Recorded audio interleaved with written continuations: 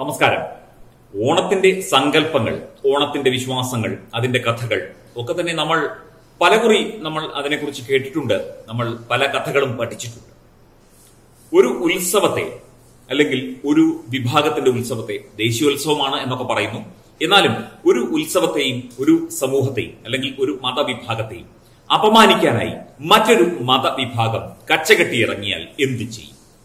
ഈ ചോദ്യമാണ് ഇപ്പോൾ ഉയരുന്നത്. കോട്ടയം ജില്ലയിലെ നെടുങ്കുന്നം സെന്റ് തെരേസാസ് ഹൈസ്കൂളിലെ ഹെഡ് മിസ്ട്രസ് സിസ്റ്റർ ദിവ്യ എന്ന് പറയുന്ന ഒരു പള്ളിയിലമ്മ എന്നൊക്കെ നമ്മൾ പറയും അല്ലെങ്കിൽ നൺ അല്ലെങ്കിൽ കന്യാസ്ത്രീ എന്തും പറയാം. ഒരു പൗരോഹിത്യ സ്ഥാനമുള്ള ഒരു സ്ത്രീയാണ് ഇവർ. ഇവർ ഓണത്തെക്കുറിച്ച് തെറ്റിദ്ധാരണാജനകമായ ഒരു സന്ദേശം പുറപ്പെടുവിച്ചത് ഇപ്പോൾ സമൂഹ മാധ്യമങ്ങളിൽ വൈറലായിക്കൊണ്ടിരിക്കുകയാണ്. ഒരു ഒരു പൗരോഹിത്യ സ്ഥാനം അലങ്കരിക്കുന്ന ഒരു സ്ത്രീ അല്ലെങ്കിൽ ഒരു അധ്യാപിക. ഇതാണോ ചെയ്യേണ്ടത്? ഇതാണോ അടുത്ത തലമുറയ്ക്കും സമൂഹത്തിനും പറഞ്ഞു കൊടുക്കേണ്ടത് എന്ന ചോദ്യമാണ് ഉയരുന്നത്. നമുക്ക് സിസ്റ്റർ ദിവ്യ പറഞ്ഞത് എന്താണ് എന്ന് കേൾക്കാം. പ്രിയ ടീച്ചേഴ്സ് പ്രിയ പേരൻസ് പ്രിയ കുഞ്ഞുമക്കളെ ഓണം ചവിട്ടേൽക്കുന്നവന്റെ സുവിശേഷമാണ്. കൊടുത്തവനെ വാങ്ങിച്ചവൻ ചവിട്ടുന്ന കഥയാണ്. ദാനം കൊടുത്തവനെ ദാനം കൈനീട്ടി വാങ്ങിയവൻ ചവിട്ടിത്താഴ്ത്തുന്നതിന്റെ കാലാതീത കഥ. കൊടുക്കുന്നവന് ചവിട്ടേൽക്കുമ്പോൾ ചവിട്ടുന്നവൻ വാമനനാകുന്നു. ലോകചരിത്രത്തിൽ ആരെങ്കിലും കൊടുത്തിട്ടുണ്ടോ അവരെല്ലാം ചവിട്ട് ഏറ്റിട്ടുമുണ്ട്. ഇതിന് പ്രധാനപ്പെട്ട ഉദാഹരണം മനുഷ്യർക്ക് സ്നേഹവും സത്യവും സ്വാതന്ത്ര്യവും സമത്വവും നൽകുവാൻ വന്ന യേശുക്രിസ്തു തന്നെയാണ്. ചവിട്ടി താഴ്ത്തപ്പെട്ടവരുടെ മുന്നിൽ യേശു ഇന്നും വലിയൊരു ഉദാത്ത മാതൃകയായി നിലകൊള്ളുന്നു. അതെ മാനവ മക്കൾക്ക് വേണ്ടി സ്വയം ഇല്ലാതായി വന്ന ഇല്ലാതാകാൻ വന്ന യേശു നമുക്കൊരു നല്ല മാതൃകയാണ്. തുടർന്ന് ആ വഴിയിൽ ഗാന്ധിജിയും Abraham Lincoln Martin Luther King Nelson Mandela ഫ്രാൻസിലെ ബോബി ഫാൻസ് മാക്സ് വില്യം കോൾബെ വിശുദ്ധ മദർ തെരേസ വിശുദ്ധ Damien Irom Sharmila Aung Aung San Suu Kyi തുടങ്ങി മാനവികതയ്ക്ക് തിരുവോണ വിരുന്നാകാൻ സ്വന്തം മഹാബലിയാകുന്നവർ ഇതുപോലെ ഏറെയുണ്ട്. പ്രിയപ്പെട്ട മക്കളെ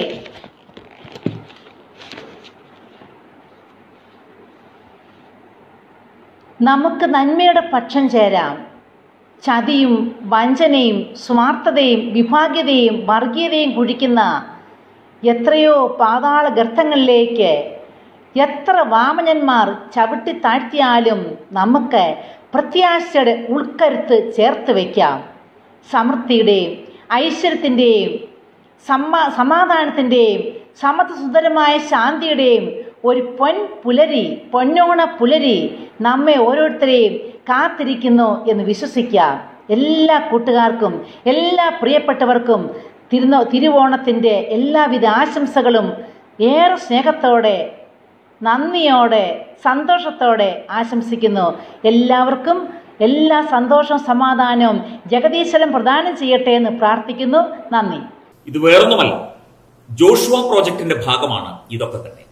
ഈ സിസ്റ്റർക്ക് ജോഷുവ പ്രോജക്റ്റുമായി ബന്ധപ്പെട്ട് എന്തെങ്കിലും പണം കിട്ടിയോ എന്നൊന്നും നമുക്കറിയില്ല. പക്ഷേ ഇത് ജോഷുവ പ്രൊജക്ടിന്റെ ഭാഗം തന്നെയാണ് എന്ന് വിശ്വസിക്കുന്നവരാണ് ഇന്ന് കൂടുതൽ. കാരണം ഇവരുടെ രീതികളും പ്രവർത്തനവും ഒക്കെ ഇങ്ങനെയാണ്. യേശുവിൽ വിശ്വസിക്കുന്നു എന്ന് പറയുന്നു. യേശു എന്ന സങ്കല്പം ഉണ്ടായിരുന്നു. പല ഗ്രീക്ക് ചിന്തകന്മാരും പറയുന്നത് യേശു എന്നത് വെറും ഒരു സങ്കല്പം മാത്രമാണ് എന്നാണ്. ഒരു വിറകുവെട്ടുകാരന്റെ അല്ലെങ്കിൽ ഒരു തടിപ്പണിക്കാരന്റെ മകനായ ഒരു ഈശ്വര സങ്കല്പത്തെ അല്ലെങ്കിൽ ഒരു അവതാരത്തെ ഈശ്വരന്റെ പ്രതിപുരുഷനായി കണ്ട് ആരാധിക്കുകയും അതുപോലെ തന്നെ പള്ളികളിൽ വെച്ച് ആരാധന ചെയ്യുകയും ഒക്കെ ചെയ്യുന്ന ഈ സങ്കല്പങ്ങളെയൊക്കെ തന്നെ പലകുറി ചരിത്രകാരന്മാർ തിരുത്തിയിട്ടുണ്ട് അല്ലെങ്കിൽ തെറ്റാണ് എന്ന് വ്യാഖ്യാനിച്ചിട്ടുണ്ട്. എന്നിട്ടും ഇവിടെ ഒരു അസഹിഷ്ണുതയും ഇല്ലാതെ എല്ലാ മതങ്ങൾക്കും എല്ലാ മതങ്ങൾക്കും എല്ലാവിധ സ്വീകാര്യതയും ഭാരതത്തിൽ നൽകി. എന്നിട്ടാണ് ഈ പറച്ചിൽ പറയുന്നത്. കഴിഞ്ഞ ദിവസം മമ്മാലിയാണ് മാവേലിയായത് എന്ന് പറഞ്ഞ ഒരു ഉസ്താദിനെ ഓർമ്മയില്ലേ? ഞങ്ങൾ വാർത്ത നൽകിയതാണ്. മുഹമ്മദ് അലി മമ്മാലിയായി പിന്നെ മാവേലിയായി.